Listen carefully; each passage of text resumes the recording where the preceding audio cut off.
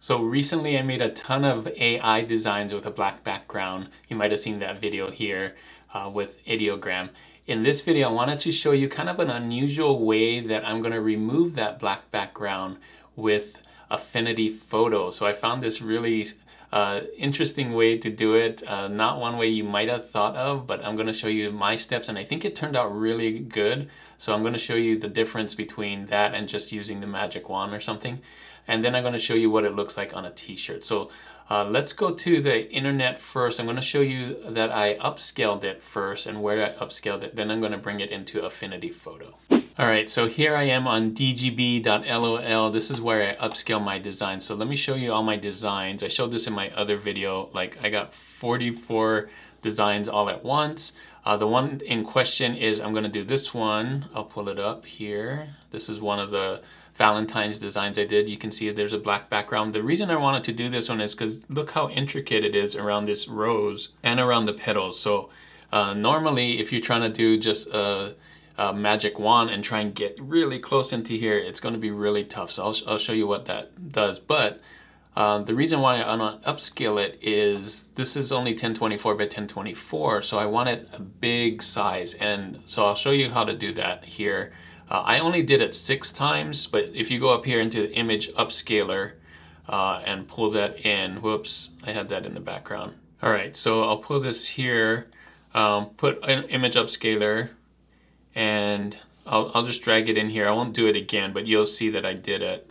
When I drag it in here, just like that, I have the option to do eight times or six times. I did six times, and I'll show you that it already it's already done all you have to do is just click on it and it'll do it and it'll put it in queue. I'm doing another one right now, this one eight times.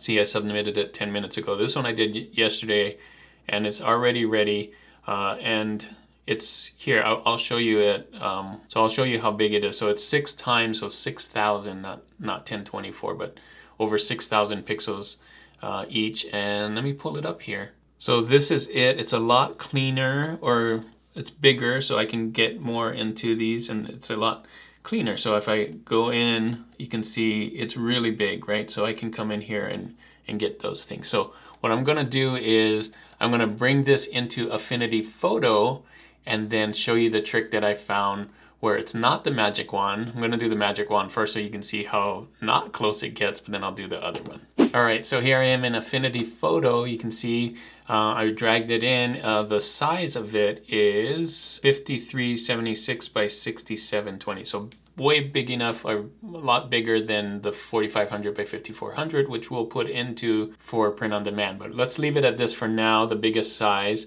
Normally what people would do is come in here, and I've done this before, is take your magic wand tool here and click on, uh, oh, let's make sure we got the background. Click on here and get the blacks, right?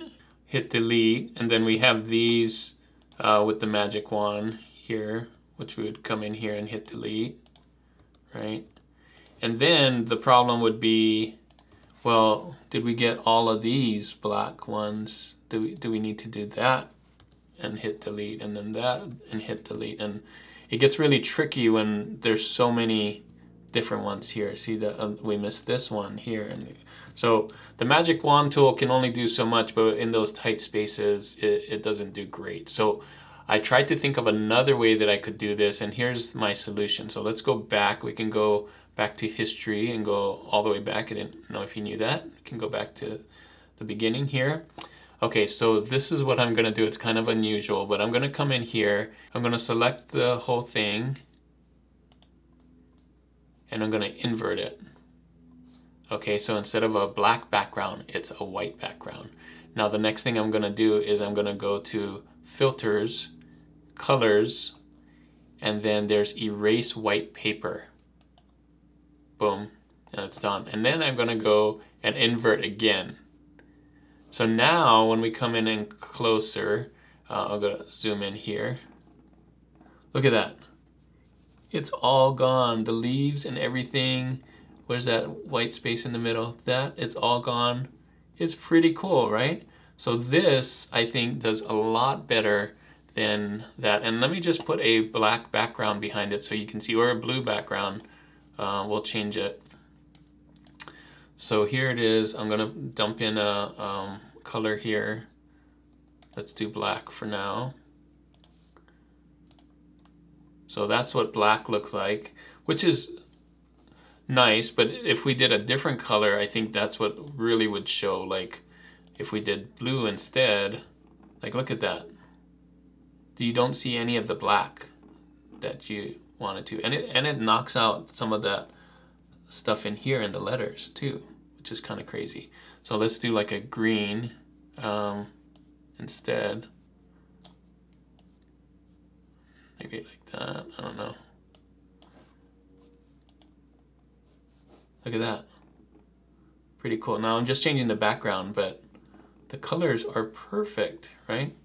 So, of course, we want it on a black background. And that's what it would look like. But I, I like this trick because it's just taking all the black, or white in this case, when we inverted it and just took it out. So my hope is that that will work for a lot of the other ones and it can get you in those nice tight spaces. It's kind of like a mask that it does already, but it's really good and doesn't have that weird outline. Let me try, let me see what it would look like with white. So white is a good test because then you really see the difference. Look at that. It has, maybe it has that little one right there, but as we go out, it's not, not so bad. Um, let's see, on a yellow. Yeah, so we'll never put these on uh, light colors anyway, but that's just a, a test there to, to show you. Like if, if we're gonna do anything, it's gonna be a dark t-shirt, right? So Think any of these darker ones, it'll make, it'll do really well. So there you go. That's my uh, kind of a hack. Okay, so I wanna show you one more thing. After you got it knocked out and everything, you're gonna have to make it the right size. And I like making it 4500 by 5400. And we know that that's not the size right now. So what we would do is we would come in here into document and we would resize the canvas. So that's what we want. Um, make sure that this isn't locked. You can see this, the canvas size is the size that I dragged in. This is the, the size, the six times size that uh, DGB LOL made. So what I'm gonna do is I'm just gonna type in 4500 by 5400 right here, which is the size we want. We want to do that centered so it doesn't go that way and then hit resize. And you'll notice that the background um, and everything stayed the same and kind of centered it. And now I'm, I'm gonna get rid of this here and I'm gonna unlock this right here and then just make sure that you move it, you know, kind of top like that. Um, make sure that there's the same space. You kind of want the same space here and here to kind of center it. So whatever your most right and most left thing is, kind of center it. You could also hit center here and that sometimes will do it, but sometimes the, the artwork doesn't know what the center is. So uh, you're gonna have to eyeball it a little bit. And then I'm gonna export it. So I'm coming here and hit export. So make sure when you export it, it's PNG 4500 by 5400. This should be PNG, not PNG dithered, because that's gonna create some weird effects here. Bilinear, whole document, that's great and hit export. And then I'm just gonna call it roses are red, not big. So I'm gonna take that off and hit save. And now I'm gonna bring it into Amazon and put it on some products. You can put it on any print-on-demand site. This will work with Redbubble, TeePublic, uh, Etsy, Shopify, whichever, but I'm just gonna use one so I uh, make the video a lot shorter. All right, so not to make this video too long, but I wanted to show you that it actually works. Amazon Merch on Demand, we're gonna just drag it into here. I have it right here on my desktop uploading, which is a good sign that it's a PNG and it's the right size. We made it 4500 by 5400 and it's gonna fit in here. You can always size down, but we made it the max size. So we're gonna see what it looks like on these different colors as well. You can see it came in very nicely and I'm gonna hit details here just so we can zoom in just a little bit here and check it out on the different colors. So yeah, I think we, we filled the whole space because that's a 4500 by 5400 and you can always size down. So if you want it smaller, I would do that, put it here. And let's look what it looks like on gray black, of course, that's a good one. Brown, uh, red, cranberry red I think is fine. Dark heather, this blue, yeah. Uh, Kelly green, no. This green, no. Um, you can see on the lighter ones it kind of doesn't work. Dark green it works. Slate gray, uh, blue, sure. Red, I don't know. I, I probably wouldn't do red. Purple, yes. Pink, no. Olive green, navy blue, yes. Burgundy. These these new heather ones are too light. Um, and that's weird. So th those are my picks for those colors, but you can see on black, it looks really good. I'm gonna take off the guide here so you can kind of see that better. I'll zoom in. So that's what it looks like. And it looks great on some of the other products. Of course, you can put it on a phone case too. Just change the color on here.